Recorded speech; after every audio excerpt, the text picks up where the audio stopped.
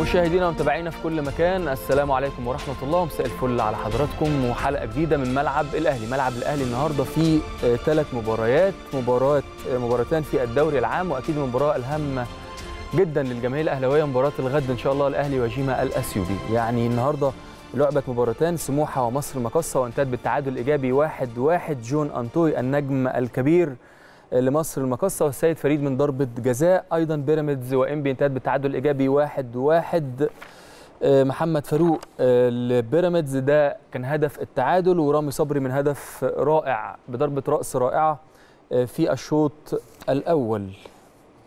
دي كانت نتائج مباراة النهارده مباراة الغد. إن شاء الله نتكلم عليها وأكيد هيكون حديث مطول مع ضيوف الكرام كابتن إبراهيم عبد الصمد وكابتن ماهر همام وكابتن شريف عبد المنعم. هنستقبلهم بعد ما أقول لكم أخبار النادي الأهلي وأخبار الفرق اللي اتاهلت كمان لدور المجموعات بالبطولة الأفريقية. الإسماعيلي خسر قدام القطن الكاميروني النهارده لكن بخسارته دي صعد 2-1 خسر وكان في الإسماعيلية كسبان 2-0 مبروك للإسماعيلي ومبروك لكل الجماهير الاسماعيلويه سان داونز أيضا صعد بعد فوزه على أهلي بني غازي 4-0 والتعادل كان ذهابا.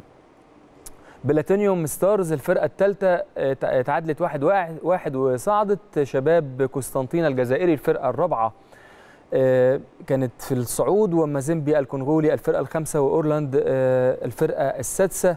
ولوبي ستارز النيجيري الفرقة السابعة. والوداد المغربي الفرقة الثامنة. دول ثمان فرق اللي تاهلوا لدوري المجموعات. النهارده إن شاء الله الأهلي بكرة يلتحق بالفرق دي. إن شاء الله إن شاء الله بإذن الله. مع صعوبه المباراة اللي اتكلمنا عليها صعوبتها في الأجواء الخارجية اللي اتكلمنا عليها وهنتكلم عليها بعد قليل. بكرة إن شاء الله الأهلي وجيما. الأهلي كان كسب في مباراة الذهاب 2-0 ونكانا الزامبي وسيمبا التنزاني كان نكانا الزامبي في مباراة الذهاب 2-1 وفيتا كلوب الكونغولي وبانتو ليسيتو ليسوتو 4-1 كانت مباراة الذهاب. وشباب الساورة الجزائري واتحاد طنجة المغربي كان 2-0 في مباراة الذهاب. لشباب الساورة الجزائري واستاد مالي وأسك الإيفواري كان انتهى بفوز أسك في استاد مالي 1-0 أعتقد أنها تبقى مباراة مريحة نوعا ما لأسك. والإفريقي التونسي والهلال السوداني كان انتهت مباراة الذهاب للإفريقي 3-1 النصر الليبي وحورية الغيني 3-0 انتهت للنصر الليبي. دي كانت أخبار الفرق اللي اتأهلت والفرق اللي تلعب بكرة. إن شاء الله كل التوفيق للنادي الأهلي. أقول لكم أخبار النادي الأهلي بسرعة وهيكون معايا الزميل كريم أحمد زي ما إحنا متعودين بعد قليل للاطمئنان على البعثة بشكل عام وهيكون معاه آخر أخبار البعثة إلى الآن. يلا يا جماعة نجهز بيه على طول. أكيد الجماهير الأهلاوية مستنياه محاضرة نظرية وقراءة الفاتحه في بداية مران الأهلي الأخير. باثيوبيا النهارده محمد يوسف عمل محاضرة نظرية للفريق. كان قبلها كان قرايه فاتحه لمباركة هذه المباراة. محمد يوسف دايما بيتكلم عن نقاط ضعف وسلبيات وإيجابيات الفرق اللي بيلعبها وأعتقد إن هو كان ماشي كويس الفترة اللي فاتت. محمد يوسف شاف الفرقة بعينيه غير لما حد يكلمه عنها أو حد يقول له الفرقة دي فيها كذا وكذا وشافها في مباراة الذهاب. وأعتقد إن هو عارف كل كبيرة وصغيرة لكن هتقابله شوية حاجات صعبة. أعتقد إن هي صعوبات خارجية وليست فنية.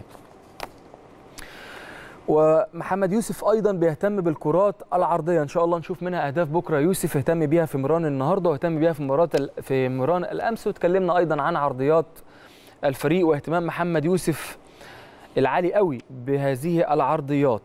هنشوف هيلعب براسين حرب هيلعب بمروان محسن بس. أعتقد مش هيبدأ بآثار ويخلي مروان. هنشوف. بكرة هنشوف إن شاء الله إيه اللي هيحصل في تشكيلة النادي الأهلي.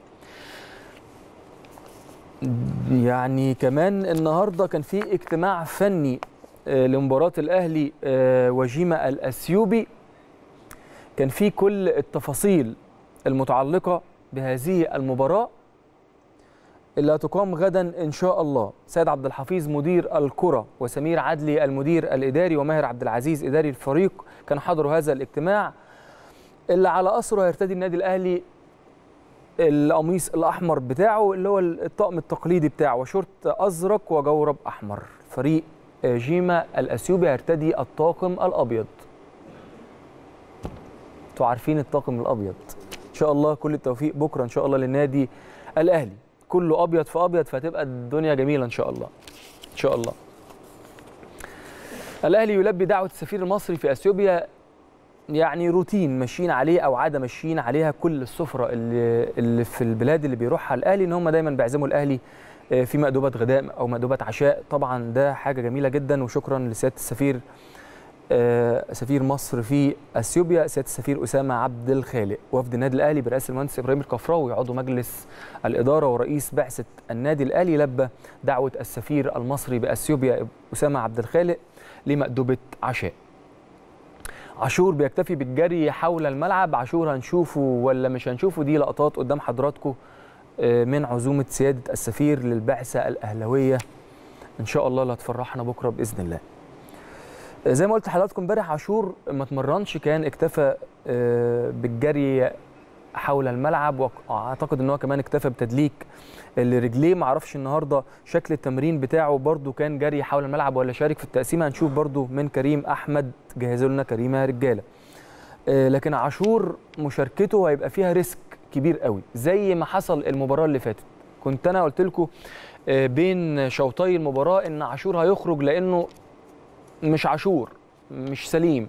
وخرج فعلا الشوط الثاني بس خرج مصاب للأسف. فأعتقد إن هو تديله راحة أحسن بكتير. وعندك البديل الجاهز دلوقتي لغاية لما حسام حسام عاشور لاعب ذو قيمة في فريق النادي الأهلي وعمود رئيسي في في فريق النادي الأهلي لكن أعتقد إن راحته أحسن بكتير بكرة عشان تلاقيه بعد كده. وثمان لاعبين بيشاركوا في مران الغائبين عن مواجهة جيما الاثيوبي تحت إشراف حسين عبد الدايم مساعد مخطط الأحمال. باسم علي عمرو بركات عمرو جمال صالح جمعة أكرم توفيق وجونيور أجاييه وأحمد علاء والوافد الجديد جيرالدو سعد سمير آه، ومحسن بيواصلوا التأهيل. آه، سعد سمير وصلاح محسن. صلاح محسن يعني وسعد سمير كمان لعيبة بصراحة مفتقدينها جدا. النهارده شفنا آه، قبل ما نروح للخبر العالمي بتاعنا خلاص إحنا قلنا الإسماعيلي بيخسر من القطر الكاميروني وبيتأهل لدوري المجموعات والمصري يودع الكونفدرالية. خسائر للمصري متوالية. ريال مدريد بيتوج بكأس العالم للأندية برباعية في العين الإماراتي العين الإماراتي ظهر النهاردة بمظهر مش هو المظهر اللي إحنا شفناه قبل كده أو بقى قوة ريال مدريد وتنظيمها وإسمها الكبير ولاعيبتها اللي تخض فريق العين اتخض النهارده لما شافوا ريال مدريد أعتقد إن كان في خض. لكن النهارده يعني كلنا زعلنا كمصريين على فرصة حسين الشحات اللي ضيعها. حسين الشحات يعني راوغ راموس وراوغ الجون وخلاص الكرة كانت هتدخل جون خلاص كان هيبقى هدف رائع وكان هيعلي من أسهم حسين الشحات جدا جدا جدا. لكن الكرة ضاعت لهدف ما ممكن ممكن. يعني أعتقد إن هو لو كان جاب الجون النهارده كان ممكن أندية يعني الموضوع هيبقى كبير جدا. لكن آه، قدر الله ما شاء فعل حسين شحات ظهر بمظهر مشرف جدا آه، للعيب المصري. قبل ما يكون كمان لعيب العين حاجة جميلة جدا النهارده. كان هيجيب هدف زي ما قلت لكم أكيد كلكم شفتوا الفرصة بتاعت حسين الشحات كلنا كنا بنشجع العين النهارده أكيد وبنشجع حسين الشحات فرصة.